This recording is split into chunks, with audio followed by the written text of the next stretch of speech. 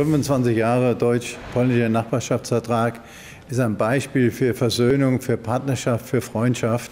Nicht nur in Europa, sondern auch in der NATO, in der OSZE sind wir Partner. Es gibt das Weimarer Dreieck zwischen Frankreich, Deutschland und Polen. Das zeigt, dass es hier eine intensive und gute Zusammenarbeit gibt. Und das nach 25 Jahren positiv zu würdigen, das halte ich für sehr wichtig.